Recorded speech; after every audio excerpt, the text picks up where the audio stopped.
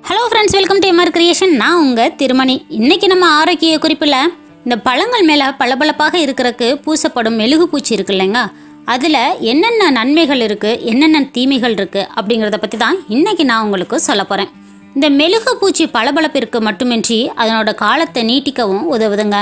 பழங்களில் இருக்கக்கூடிய இந்த இயற்கை மெழுகு நம்ம தண்ணீரில் நனைத்த உடனேயே அது போயிடும் இதனால் அதனோட ஈரப்பதங்கள்லாம் குறைந்து சீக்கிரமாகவே கெட்டு போயிடும் அதனோட ஈரப்பதத்தை தக்க வைக்கிறதுக்காக தான் இந்த மெழுகு பூசுறாங்க.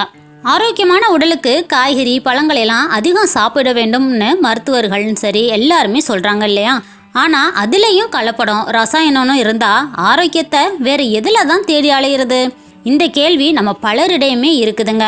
குறிப்பாக காய்கறி பழங்களில் கண்ணுக்கு தெரிந்தே பூசப்படும் இந்த மெழுகு பூச்சிகளை பார்க்கும்போது தெரிந்தே அதை நம்ம வாங்க வேண்டிய சூழ்நிலையில் இருக்கிறோம். ஏனெனில் அதையும் விட்டால் வேற வழி இல்லை இல்லையா? அதனால அதை வாங்கத்தான் செய்கிறோம் இந்த மெழுகு பூச்சி பழங்கள் பளபளப்பாக இருப்பதற்காகத்தான் பூசப்படுது. ஆனால் இதை பார்க்குறவங்க ஃப்ரெஷ்ஷாக இருக்கிறது அப்படிங்கிறது மாதிரி வாங்கிடுறாங்க.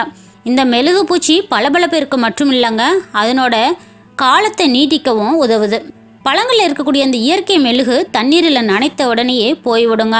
அதனோட ஈரப்பதம் குறைந்து கெட்டு போய்விடும். அதனால தான் அந்த ஈரப்பதத்தை தக்க வைக்கிறதுக்காக மெழுகு பூச்சி பூசுகிறாங்க அது பழத்தை நீண்ட நாட்களுக்கு பாதுகாத்தாலுமே அது நம்ம உடலுக்கு ஆரோக்கியத்துக்கு கேடுதாங்க விளைவிக்குது. அவை பல வகையிலையும் நமக்கு பாதிப்பை உண்டாக்குகின்றன. அவை என்னென்னு பார்க்கலாம். உணவு பாதுகாப்பு மற்றும் தரநிலை விதிகளின்படி இயற்கை மெழுகுகளான கேண்டிலா மெழுகு தேன் மெழுகு மற்றும் கார்பனோபா மெழுகு மட்டுமே பயன்படுத்தணும். இதை தான் எஃப்எஸ்எஸ்ஏஐயும் இயற்கையான மெழுகுகளை மட்டுமே அனுமதிக்குதுங்க. இந்த மெழுகு பூச்சிகள் உடலுக்கு எந்த ஒரு பாதிப்பையுமே ஏற்படுத்துறதில்ல. ஆனா இப்ப பெரும்பாலும் பெட்ரோலியம் மற்றும் மார்போலின் போன்ற மெழுகுகளை தாங்க யூஸ் பண்றாங்க. ஆனா இந்த விதமான மெழுகுகள் கல்லீரல் மற்றும் சிறுநீரக செயலிழப்பை உண்டாக்குது. அப்படி எஃப்எஸ்எஸ்ஏஐ அதால அனுமதிக்கப்பட்ட மெழுகுகளை மட்டுமே நம்ம யூஸ் பண்ணணும். அனுமதிக்கப்படாத மெழுகு பூச்சிகளை பயன்படுத்துறதுனால வயிற்று பிரச்சனை வாந்தி குமட்டல் என பல பிரச்சனைகளும் உண்டாகுதுங்க. ஏன்? சில சமயங்களில் ஃபுட் பாய்சன் கூட ஆகக்கூடிய ஒரு சூழ்நிலையும் இருக்குதுங்க. அதனால ஆரோக்கியமான பழங்களை வாங்க வேண்டும்னா எஃப்எஸ்எஸ்ஏ ஐயோட அங்கீகரிக்கப்பட்ட பழங்களான்னு பார்த்து வாங்குங்க ஃப்ரெண்ட்ஸ் தேங்க்யூ